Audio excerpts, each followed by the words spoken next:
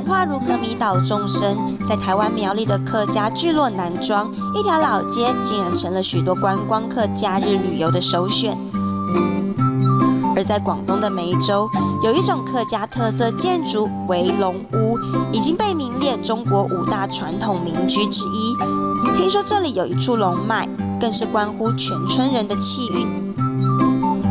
哎呀，哎，二喜微笑，你们累不累啊？累哦，累死了。嗯，那我请你们去我的别墅玩一下。没想到原来是千金大小姐，要在梅州这个地方有别墅，家里一定要啊。有一点那个雄厚的底子才行的哈。那当然，那不是谁都住得起的哦。怎么说？因为我的家的别墅是一个龙脉所在，而且住进去的一定是龙子龙孙。们瑞家大小姐的别墅其实是客家人一种很特别的建筑——围龙屋。围龙屋是一种富有中原特色的典型客家民居建筑。甚至被中外建筑学界称为中国民居建筑的五大特色之一。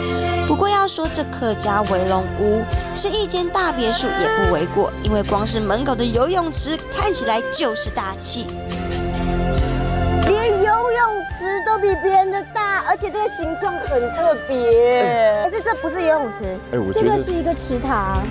池塘对，然后你可以看到后面那个墙呢，我们称之为照壁。那它的作用呢，就是白色的东西，如果是外面有太阳光照进来的话呢，它可以反射回去，就有一个采光的作用功能。嗯，对。然后这个池塘呢，是供我们呃抗旱呐，然后养鱼啊。抗旱是什么？抗旱防火。抗旱防火，嗯，还可以养鱼。哎，所以这里也可以是个。钓鱼台，对，可以，而且是免费的，小型的。瑞佳说，这个半月形的池塘主要是用来放养鱼虾、浇菜和蓄水防旱防火，有多功能的用途。往后走进大门，就是进入围龙屋的主体了。那我们现在进入的这一进算是什么位置？中堂。中堂啊，这上面好多好多这种看起来有点历史、有点时代的这种匾额，对不对？对。哎，你看看到没有？武德将军是乾隆赐的牌匾。哎，你有没有看到这个？对，这块。一服足履，是因为啊，我们这个房屋的建造者，嗯，然后呢，他自幼就没有双亲，然后他就。呃，办了一个类似学堂的，受到了当地人和父母官的嘉许，就呃赐了他一个牌匾，就叫做义福祖旅。所以呢，我们这个祖屋也叫做义福堂。瑞嘉说，义福堂其实就是他们梁氏的宗祠，传承至今已经有五百多年。这栋宏伟的建筑也有四百多年的历史。从这些牌匾可以看出来，客家人重视教育、重视传承的传统。它呢是上堂，上堂，对，也称之为祖堂。然后就是我们摆祖先牌位的地方，是不是？对。好，你们先等一下，我先过去一下。客家人敬天法祖。瑞佳说，外地的梁氏子孙一回老家，第一件事就是要祭祖，所以每年过年，老家常常是挤得水泄不通，相当热闹。不过现在似乎没有什么人住在这里，但是香火依然不间断。像佳佳现在也不住在这个屋子里了，您本身现在应该也不住在这里了，对不对？我在隔壁，在隔壁。那为什么这个屋子还保持这么好？我觉得好像是有人在里面生活的感觉。这个，我们这有一个两性，呃，它有是在我们这在本土呢还是两千多人，在那个印尼那边呢，东南亚一带也两三千人，他们每年都有人回来。是，我们这这每天都有有几个人在这里。梁大哥说，正是因为梅州算是侨乡，世界各地都有梅州的客家人。每年祭祖不只是当地客家人的大事，还有许多来自世界各地的子孙共襄盛举，这也是梅州被称为世界客都的原因之一哦。看完了下堂、中堂、上堂之后啊，再来看一下这里。哇。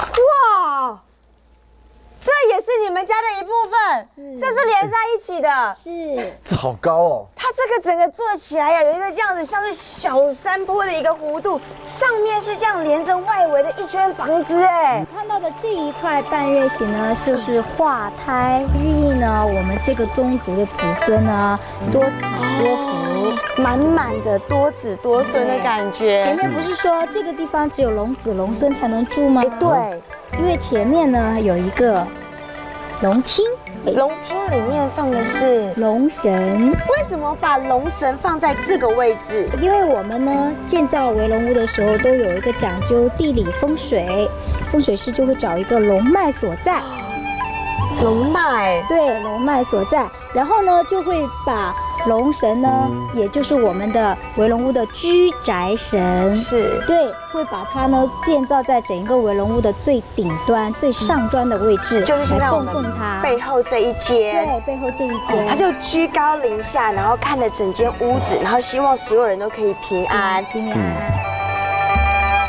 从龙厅的位置往下可以眺望整座围龙屋。瑞嘉说，围龙屋的设计当然还包括战略上的考量，可以防止土著和盗匪的打劫及猛兽的袭击。两旁的房屋都是堆放杂物为主，而住人的房间则在中轴线的两侧，称为横屋。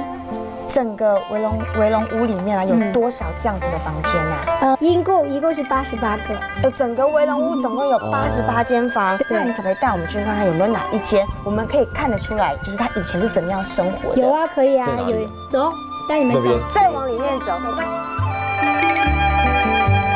时代的改变，现在梁氏子孙几乎已经搬离了围龙屋，但还是有少数几户住在这里。这也让我们有机会感受到围龙屋的生活乐趣。瑞佳说，这种生活其实对客家人来说很重要，很多客家人的风俗以及精神都是从这些平凡的生活当中学习的。看来这客家妇女果真是进得了厨房，出得了厅堂啊！哎，好好，这好香哦。哇，对啊，帮你们烧汤吧。好好，这个是什么？这个是酿酒鸡，是由三种食材做成的，糯米酿的酒，是。然后姜，然后还有鸡。爸爸，嗯，加一下这个鸡，你给它打几分？嗯，这个嗯。可以打九九十五分，嗯，满分是多少？一百。那差那五分差在哪里？个酒不过太贪一点，什么意思？太贪。太淡了，酒太淡了。呃，我觉得刚刚那好。这五分你不是扣他，是扣我们，因对为他怕我们醉了，真的赖着不走，留在这。哦，我真的很感动哎，真的担心如果以后回台湾吃不到怎么办？那你就直接留下来好了。哎，好不好？因为我我刚看伯父有点紧张，整个人是吗。对啊。说真的啊，伯父，像我们就是要调教客家美女，对不对？是不是还是客家女性的三从四德，或是一些特征、特殊的性情，你一定要把它教会？嗯是嗯，比如说有哪些呢？你记不记得妈妈以前怎么教你的？就是做人要大方，嗯从小要做家务，嗯嗯嗯，要自己洗衣服，嗯，然后呢，呃，贵宾来了要主动泡茶、端茶，然后烧水果啊，一些吃的礼果这些招待宾客。所以你从小就学这些，到现在就是生活里面很自然的一部分。从瑞佳以及众位梁大哥身上，我们能体会到要展现自身的魅力，首先要懂得珍惜传统，珍惜自己的文化。而在台湾苗栗的南庄，有一群人坚持以古早味赢得成千上万游客的心。